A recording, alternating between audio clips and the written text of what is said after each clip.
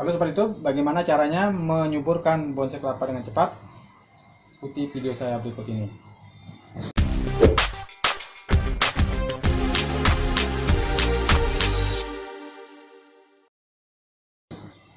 Seperti itu, bertemu kembali dengan Wayan Wardana Channel.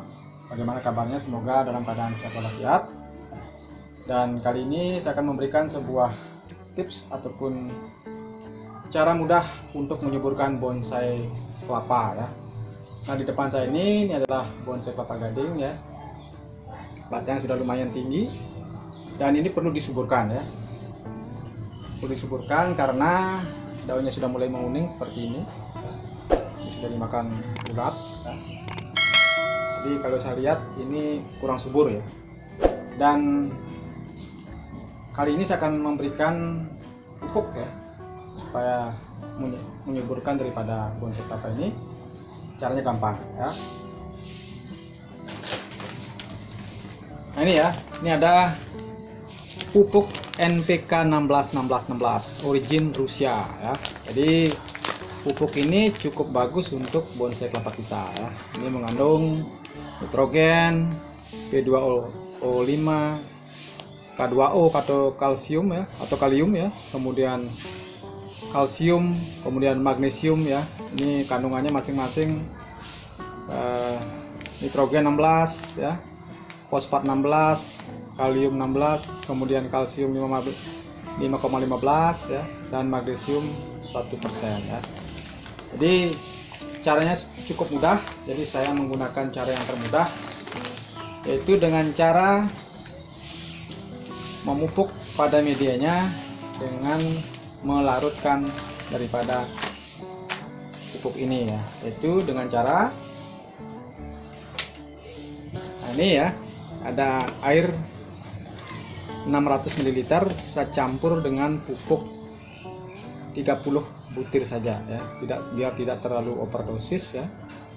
Saya campur dengan 30 butir pupuk NPK ya. Seperti itu ya saya tuang dulu ya, ya.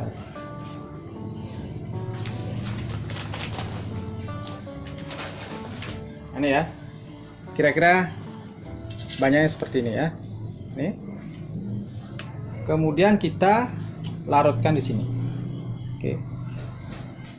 Cukup simpel ya. dan cara ini menurut saya sangat cepat ya untuk memupuk daripada bonsai kelapa kita ya nah ini ya.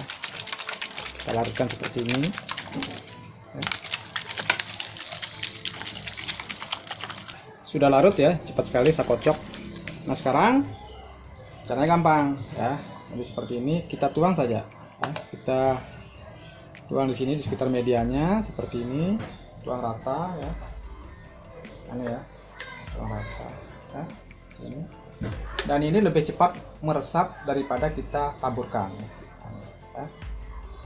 Kita langkah seperti ini. Tapi untuk satu pohon seperti ini ya jangan salah ya. Jadi cukup kita tuangkan hanya 200 ml saja. Jadi ini sudah 2 per 3 sudah cukup ya tidak usah lagi dicampurkan ya atau dituangkan ke sini. Ini yang overdosis ya. Jadi ini saya buat untuk tiga pohon bonsai kelapa ya. Ini ya. Jadi saya rasa sudah cukup ya supaya tidak overdosis jadi saya uh, pupuk dengan 200 ml dicampur dengan 10 butir NPK ya. Ini ya. Baik ya itu saja yang bisa sampaikan kepada sahabat YouTube yang ada di rumah. Terima kasih dan salam satu B bonsai kelapa